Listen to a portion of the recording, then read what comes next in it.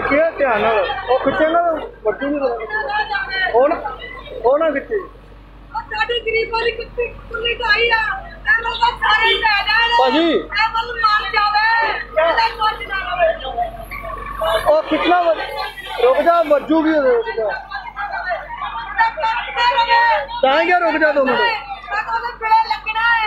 ਉਹਦੇ ਪਿੜਾ ਲੱਗ ਕੇ ਮਰ ਜਾਣੀ ਇਹ ਉਹਦੀ ਚੀਜ਼ ਅੱਗੇ ਦਿੱਤੇ ਨੇ? ਅਸੀਂ ਆ ਮਿਲ ਦੀ ਚੀਜ਼ ਅਸੀਂ ਰੁਪਈਆ ਰੁਪਈਆ ਕੱਟਾ ਕਰਕੇ ਦਿੱਤਾ ਹੈ? ਅਸੀਂ ਉਹਦੀ ਚੀਜ਼ ਵੇਚੀ। ਆ ਉਹਦੀ ਰੰਨ ਵੇਚੀ ਆ। ਰੰਨ ਵੇਚੀ ਅਸੀਂ ਉਹਦੀ ਚੀਜ਼ ਵੇਚੀ ਆ ਦੋ ਲੱਖ ਰੁਪਏ ਦਿੱਤਾ ਹੈ ਓਏ ਮਰ ਦੀ ਚੀਜ਼ ਉਹਦੀ ਵੇਚੀ ਹੈ ਉਹਦੀ ਰੰਨ ਦੀ ਗੋਲੀ ਲਾਈ ਸੀ